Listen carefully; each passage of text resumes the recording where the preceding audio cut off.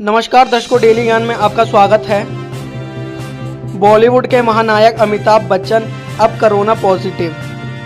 बॉलीवुड जगत से लगातार बुरी खबर सामने आ रही है। महानायक अमिताभ बच्चन और अभिषेक बच्चन कोरोना पॉजिटिव पाए गए हैं। ऐसे में फैंस और तमाम बॉलीवुड सेलिब्रिटी इस खबर को देखकर नाराज़ हो गए हैं। अमिताभ बच्चन ने खुद इस बात की पुष्टि की है, वह कोरोना वायरस से पॉजिटिव हो गए हैं। वे मुंबई के नवती अस्पताल में कोरोना का इलाज करा रहे हैं। वहीं कुछ देर बाद पता चला कि अभिषेक बच्चन भी कोरोना संक्रमित से पॉजिटिव हो गए हैं।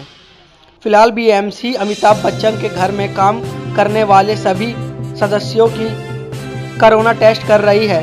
साथ ही कोरोना की गाइडलाइन को फॉलो करते हुए वह बिग बी का बंगला भी सील कर सकती है। वहीं बिग बी से जुड़े सभी लोगों को आइसोलेशन में रखा जाएगा। अमिताभ बच्चन को लेकर जैसे ही ये खबर सामने आई तो तमाम फैंस और सेलिब्रिटी दुखी हो गए।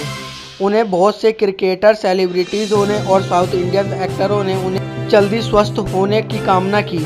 आगे जानेंगे क्या क्या प्रतिक्रिया करी ट्विटर पे।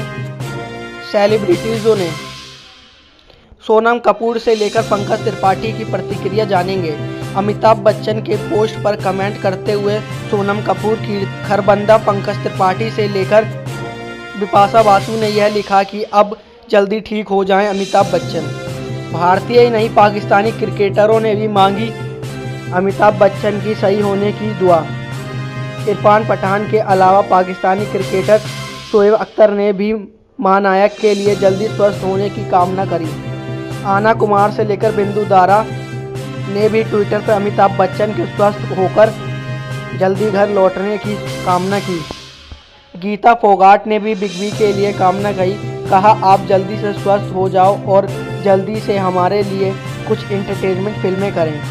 रितेश देशमुख और पुलकित सम्राट जैसे स्टार ने अमिताभ बच्चन के लिए भी ट्वीट किया। उन्होंने लिखा, भगवान आपको शक्ति दे और आप जल्दी स्वस्थ हो जाएँ।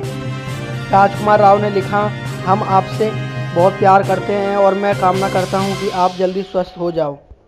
धन्यवाद दर्शकों दर्शकों, आपको ये खबर अच्छी लगी तो हमारे चैनल को सब्सक्राइब कीजिए और इस वीडियो को लाइक कीजिए और देश और दुनिया से जुड़े रहने के लिए हमारे चैनल को सब्सक्राइब कीजिए। धन्यवाद, दर्शकों।